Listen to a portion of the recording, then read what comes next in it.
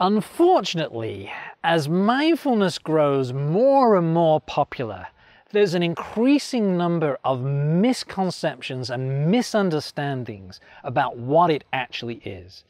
So I want to take you through the five most common misunderstandings about mindfulness.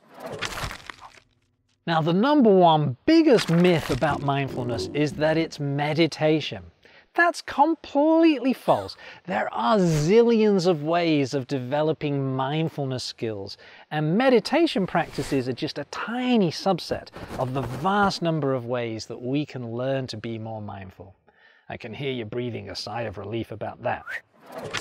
Now, the second big myth about mindfulness is that it comes from Buddhism. Now, that's false.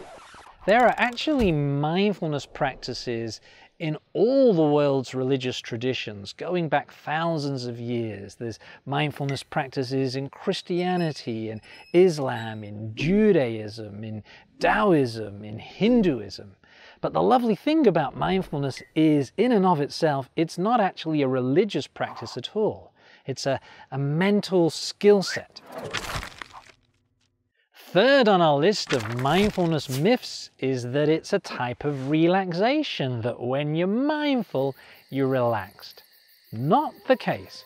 You can be mindful even in a really challenging, high conflict situation where you're full of anxiety or full of anger or full of sadness.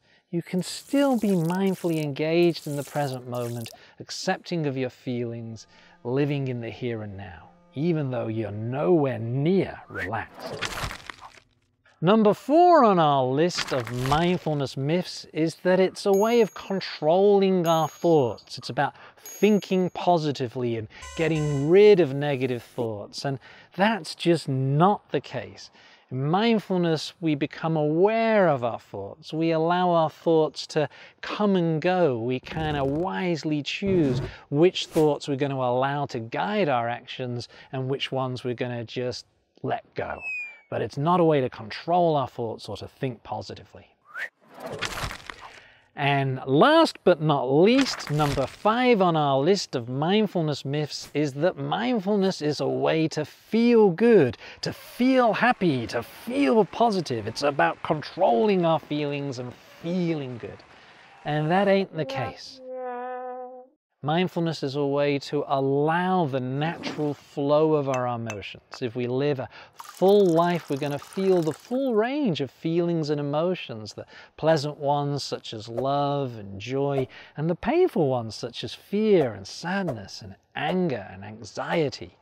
And the aim is to allow all of those emotions to flow through us without getting swept away by them. So at times when we're mindful, we will be feeling good and at other times we won't.